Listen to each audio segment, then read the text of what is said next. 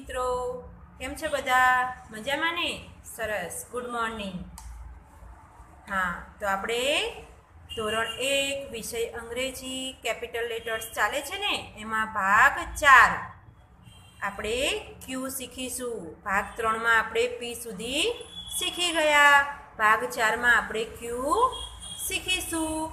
ખરું ને વિદ્યાર્થી મિત્રો? સરસ. ચલો. તો આ છે Q Q for queen queen એટલે રાણી. તો અહીંયા આપણે ક્યુ લખીશું.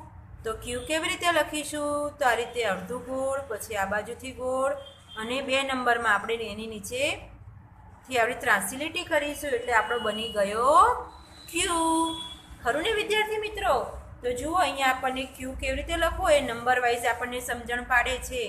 તો આપણે ન ફાવે તો અહીંયા આપણે જોઈશું સ્વાધ્યાય પોથીમાં. તમારી પાસે નથી એટલે વિડીયોમાં જોશો તો અહીંયા નંબર દેખાય છે.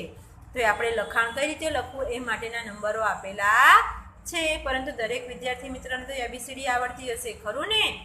સરસ, ચલો.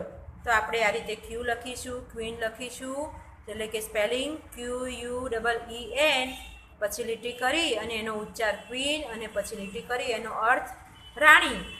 એ રીતે લખીશું. અને આખા પાનામાં આપણે ક્યુ આ રીતે છૂટા છૂટા લખીશું. પણ ધ્યાન રાખજો વિદ્યાર્થી મિત્રો, પહેલી ત્રણ લીટીમાં ગોળ થશે અને થોડું નીચે નીચે છેક લાલ લીટીને નહીં અડાડવાનું પણ થોડું લીટો કરશો એટલે થોડું અહીંયા નીચે, વાદળીથી નીચે લીટી આવશે. આ રીતે આપણે ક્યુ લખવાના છે. ક્યુ પછી આવે છે R.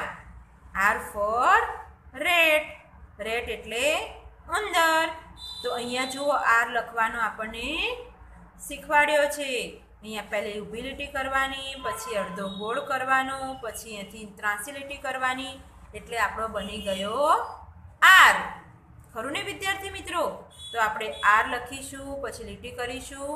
આર ફોર રેટ એટલે અહીંયા સ્પેલિંગ લખીશું, આર એટી રેટ પછી લીટી કરી અને એનો ઉચ્ચાર રેટ લખીશું. અને પછી એનો અર્થ લખીશું ઉંદર. અને આખા પાનામાં આ રીતે આર લખીશું. પણ આર આપણે ત્રણ લીટીમાં લખવાનો છે. વિદ્યાર્થી મિત્રો, હું તમને વારંવાર ત્રણ લીટી ત્રણ લીટી એટલા માટે કરું છું કે તમારું ઇંગ્લિશ વ્યવસ્થિત અને સાચી રીતે લખવાની પદ્ધતિ તમને ખબર પડે. એટલા માટે સરસ. ચલો, તો આખા પાનામાં આ રીતે છૂટા છૂટા આપણે આર લખીશું. આર પછી આવે છે એસ. શું આવે છે વિદ્યાર્થી મિત્રો? S. S for sun. S for sun. તો અહીંયા એસ લખતા તો દરેક વિદ્યાર્થીને આવડતું હશે, ખરું ને? હા, તો આ રીતે એસ લખી અને પછી સ્પેલિંગ એસ યુ પછી લીટી કરવાની, એનો ઉચ્ચાર સન લખવાનો, લીટી કરવાની અને પછી એનો અર્થ થાય સૂર્ય અથવા સૂરજ. તો આ રીતે લખી અને નીચેની લીટીમાં આખા નોટની, આખા પાનામાં આ રીતે આપણે એસ લખી શું? છૂટા છૂટા. પછી આવે છે એસ પછી T T for top top એટલે ભમાડો તો આપણે આ રીતે ટી લખીશું, પછી ટીઓપી ટોપ લખીશું, લીટી કરીશું, પછી એનો ઉચ્ચાર ટોપ લખીશું, અને પછી એનો અર્થ ભમરડો.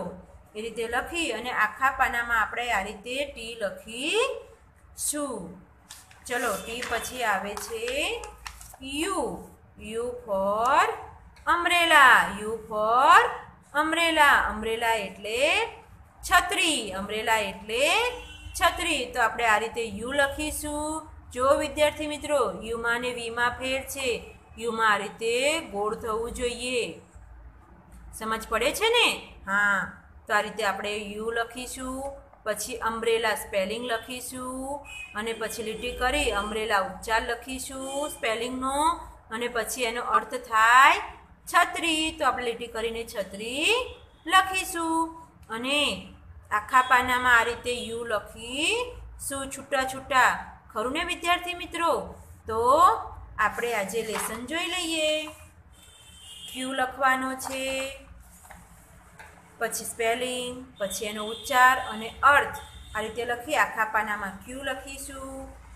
પછી ક્યુ પછી આવે છે આર. આ તો આપણે આર લખીશું. પછી આર ફોર રેડ સ્પેલિંગ લખીશું. પછી એનો ઉચ્ચાર લખીશું અને પછી એનો અર્થ ઉંદર. એ રીતે લખી અને આખા પાનામાં આ રીતે છૂટા છૂટા આર લખીશું. આર પછી આવે છે એસ. એસ ફોર સન તો એસ લખીશું મોટા અક્ષરે. પછી લીટી કરીશું, પછી સ્પેલિંગ સન પછી એનો ઉચ્ચાર સન અને એનો અર્થ સૂર્ય આ રીતે લખી અને આખા પાનામાં આપણે આ રીતે છૂટા છૂટા એસ લખીશું. પછી આવે છે ટી પછી શું આવશે? ટી તો આ રીતે ટી લખી ટીઓપી ટોપ પછી એનો ઉચ્ચાર ટોપ એનો અર્થ ભમરડો, એ રીતે લખી એક લીટીમાં.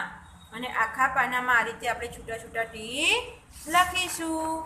પછી ટી પછી આવે છે યુ. શું આવે વિદ્યાર્થી મિત્રો? યુ. તો આ રીતે મોટો યુ લખી, યુ ફોર અમરેલા. અમરેલા એટલે છત્રી. તો અમરેલાનો સ્પેલિંગ લખશું. પછી અમરેલા લખીશું. એનો અર્થ લખીશું છત્રી. અને આખા પાનામાં યુ યુ લખીશું. છૂટું છૂટું. ખરું ને વિદ્યાર્થી મિત્રો? તો આપણે અહીંયા આગળ લેટ કેપિટલ લેટર્સમાં યુ સુધી ભાગ ચારમાં શીખી ગયા. તો દરેક વિદ્યાર્થી મિત્રો લેસન કરવાનો આગ્રહ રાખજો. જો બાકી હોય તો આગળના વીડિયો જોઈ અને યુ સુધીનું લેસન કમ્પ્લીટ કરી નાખજો.